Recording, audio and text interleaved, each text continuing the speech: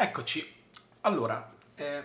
non avrei mai immaginato in realtà di mettermi qui e di registrare un altro video dopo quello della conferenza stampa eh, di Massimiliano Allegri, che comunque trovate qui sopra nelle schede come al solito.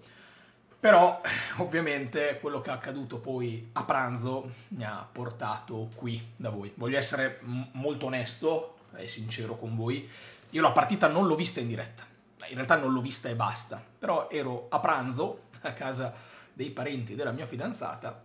e mentre si mangiava tra una portata e l'altra, un occhio lo buttavo sull'Inter.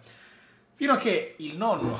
della mia fidanzata non mi ha detto guarda che l'Ellas Verona ha pareggiato. E allora sono andato a tirare fuori il telefono e ho visto che effettivamente mancavano 10 minuti, 12 per esattezza al termine della gara, e ho attivato Dazon all'interno del mio cellulare e mi sono guardato un pochettino in diretta quello che stava accadendo. Fino a che, anche qui mi ha fatto molto ridere, si vede che la mia connessione o comunque da zona arriva in ritardo rispetto all'applicazione che stava guardando il nome della mia ragazza per monitorare il risultato e mi dice, ecco, 2-1 dell'Inter, te l'avevo detto che l'Inter non avrebbe perso. A che io guardo il telefono, c'è ancora la partita sotto e dico, ma no, è impossibile io leggo ancora 1-1 e nel mentre che dico questo l'Inter prende la traversa perché nell'azione del, del gol del 2-1 c'è pure una traversa dell'Inter. Al che poi invece vedo che l'Inter segna con Frattesi. E il nonno dice aspetta aspetta c'è un controllo in corso. Io lì per lì non avevo visto perché ovviamente lo stai guardando su un dispositivo piccolo stai guardando con la coda dell'occhio. Poi parte il replay e dico no vabbè dovrebbe essere tutto regolare dal punto di vista del fuorigioco però vedo che un giocatore dell'Elas Verona è a terra. Quando poi vedo effettivamente il replay, penso, vabbè, d'accordo, è impossibile che questo eh, gol non venga annullato, tra l'altro si è parlato eh, di controlli, quindi sicuramente questo gol verrà annullato. Quando è stato convalidato questo gol sono rimasto stupito.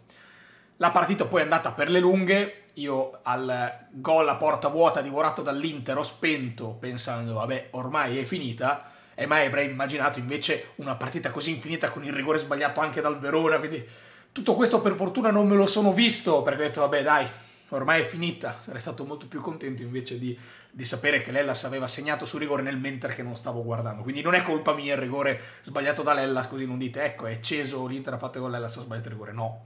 assolutamente no, quello non dipende da me, quello non l'ho visto. Però poi guardando effettivamente quell'episodio specifico ho detto, cavolo ragazzi, ma com'è possibile che al VAR non veda una roba del genere? Io nelle settimane scorse vi ho parlato un pochettino di, di, quella che è la mia posizione, voglio ribadirla con forza, io non credo che questo campionato sia manipolato. Io ho letto troppi tifosi della Juventus che mi parlano di campionato deciso, già scritto, e la cosa che mi deprime, perché mi deprime questa cosa, è che tanti di questi tifosi sono tra quelli faccio riferimento più a quello che mi appare su Twitter, eh, sono tra quelli che invece quando la Juve vinceva andavano un po' a perculare gli altri dicendo che l'arbitro era la scusa dei perdenti. Quella stessa categoria di tifosi, ma dico questo perché ci sono davvero degli account che mi ricordo che storicamente retweetavano, commentavano i post di altri tifosi di altre squadre che quando c'era un episodio in quel caso a favore della Juve andavano lì a dire eh beh l'arbitro eh cosa pensi e adesso invece guardano al complotto. E queste cose non piacciono, perché allora si è due facce della stessa medaglia, come ho già detto nelle settimane scorse, che cambiano a seconda di quelli che sono i colori della maglia. Voglio che questa cosa sia ben chiara, io non penso che l'Inter stia comandando il campionato, che Marotta stia comandando il campionato, che ci sia della malafede nelle scelte da parte degli arbitri. Non lo penso, non lo penso assolutamente, se no smetterei di guardare questa roba che senso ha guardare una roba che per me è manipolata, è pilotata? Non la guardo, risparmio del tempo e faccio prima e ne vado anche a beneficiare dal punto di vista psicologico. Poi,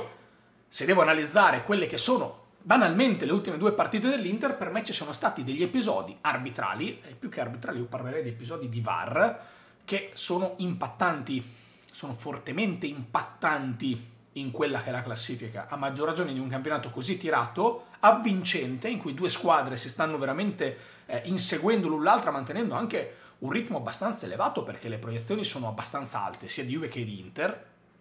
e dispiace che poi ci siano degli episodi di questo tipo che vadano un po' ad alterare, ma attenzione, ricorderete Juventus Bologna, mi sono seduto qui e con tutta l'onestà del mondo vi ho detto non riesco a capire come non abbiano espulso Ealing e come non abbiano dato il rigore al Bologna di quell'entrata di Ealing in area. Lo stesso Ealing poi andrà a servire l'assist dell'1-1 eh, sulla testa di Dusan Vlaovic facendo pareggiare la Juventus. Quindi non venitemi a dire che no, perché lo sapete benissimo come sono fatto quando c'è un episodio, lo commentiamo. Non mi piace parlare degli arbitri, lo sapete, preferisco parlare di campo e la roba del campo arriverà sul finale di questo video. Però è ovvio che quando ci sono situazioni di questo tipo sono anche costretto a parlarne. Quello di Bissek l'ho trattato molto marginalmente, vi ho semplicemente detto che, tra l'altro ho fatto l'analisi di quella partita, che per me quello era fallo e che andava fischiato, stop, mi sono fermato lì. Quello di oggi mi sembra molto grave. E ripeto, non per un discorso di malafede, bla bla bla, ma proprio per un discorso eh, di gestione del VAR. Come fai a non richiamare l'attenzione dell'arbitro su un episodio del genere? Bastoni non è stato proprio il migliore al mondo, così come non mi è piaciuta nemmeno la reazione, questa l'ho vista in differita, di, eh, di Di Marco e di un altro giocatore dell'Inter che non ho percepito eh, nei confronti di Henry dopo l'errore dal dischetto, che gli vanno a esultare in faccia, un po' come era successo eh, con Gagliardini e, e Rabiot, quando poi la Juventus invece aveva recuperato in extremis la partita. È stato molto molto bello, diciamoci la verità, perché Gagliardini aveva fatto una vigliaccata per quanto mi riguarda. E quindi quello è un episodio grave. Secondo me questo è un episodio grave che va anche un po' a rovinare quello che è questo campionato. Poi non so se dire purtroppo per fortuna, purtroppo perché hanno sbagliato, per fortuna perché c'è stata l'occasione, il Verona poteva anche salvare il risultato e andare a chiudere sul 2-2 dopo un'espulsione di Lazovic, quindi anche in 10 con uno sforzo incredibile. E ha mancato il match point sul finale e sarebbe stato clamoroso e sarebbe stato bellissimo per me che avevo già chiuso l'app senza speranze avere questa botta di adrenalina pura in, in attesa di un, un Salernitana Juventus che diventa molto pesante per noi anche proprio dal punto di vista psicologico, lo sappiamo quando ci sono delle partite del genere, poi il rischio c'è sempre, eh, delle partite del genere intendo eh, in cui fino all'ultimo risultato in bilico e si spera, si pensa che la contendente possa lasciare dei punti per strada. Eh, faccio proprio riferimento a un Inter Juve, che anche quello passato alla storia, vedete come, perché poi le cose mi fanno arrabbiare, noi abbiamo rubato no? quello scudetto nei confronti del Napoli, perché? Perché Pjanic non è stato espulso quello è passato la storia come scudetto rubato, perché Pjanic non è stato espulso. Ma il Napoli il giorno dopo ne prende tre a Firenze, proprio perché non è riuscito a mantenere quel passo psicologico anche se stavamo parlando di una gara di fine campionato, in cui mancava veramente pochissimo al termine della stagione. Quindi rimaniamo concentrati perché io sono convinto che i calciatori della Juventus e lo stesso Allegri, mentre stanno andando a Salerno, le orecchie le antenne dritte sulla partita dell'Inter, gli aggiornamenti magari non la vedono, magari la vedono, non so, un aereo, un treno, quello che sarà il pullman o semplicemente dei messaggi. Sta succedendo questo, manca tot, lo fanno perché è giusto che rimangano concentrati, è giusto che in tempo reale vadano a seguire queste cose e per me c'è una squadra dietro, è giusto che la guffino, dico la verità, in una corsa del genere. Quindi stiamo concentrati perché il fatto di aver avuto eh, il risultato in bilico fino alla fine potrebbe essere controproducente per una squadra che ancora non è pronta a vincere, come non lo era il Napoli all'epoca e come non so se lo è la Juventus oggi, e vediamo domani con la Salernitana.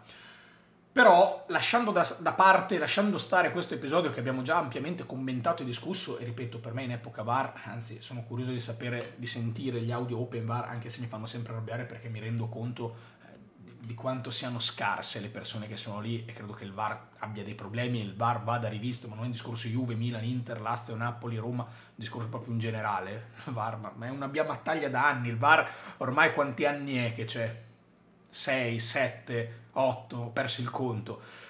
Ha creato più danni che resto, è uno strumento che dovrebbe aiutare gli arbitri e crea più confusione. Questa è una mia battaglia, la lascio da parte, il protocollo VAR va rivisto punto e stop ho trovato, ho trovato su, eh, su, Twitter questo post del, del, direttore Fabio Villani, un abbraccio Fabio, che volevo commentare insieme a voi, perché dice l'impressione è che comunque l'Inter sia una squadra mentalmente molto più debole rispetto a solo 15-20 giorni fa.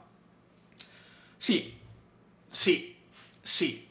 E me l'ha confermato anche un mio amico interista con cui ho discusso un po' di, di questo episodio arbitrale, anche lui mi ha detto clamoroso che il VAR non si è andato a vedere, ciao Pietro, un abbraccio che so che sicuramente starai guardando, però sì mi ha confermato l'Inter in questo momento è in difficoltà, eh, poi mi ha detto eh, si fa fatica anche a far gol, infatti io ribadisco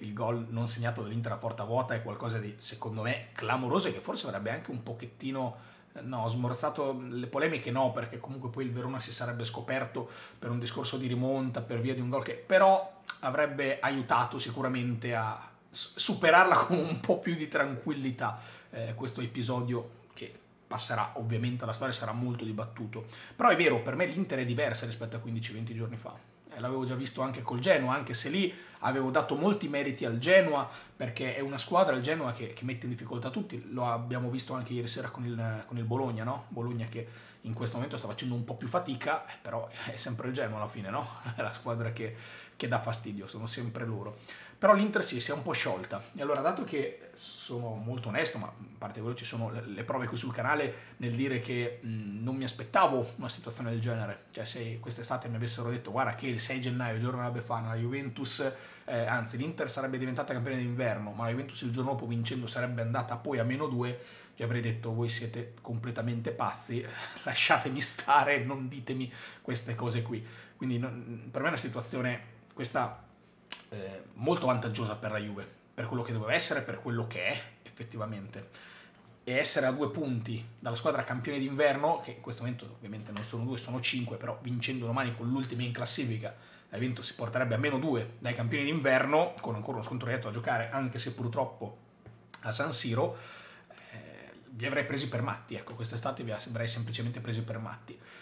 E io non ci credo che la Juventus vincerà lo scudetto, lo sapete, sono ancora un po' scettico, sono ancora dell'idea che eh, questo scudetto sarà nero-azzurro. Mm, non ho problemi a dirlo, però io adesso voglio crederci, eh.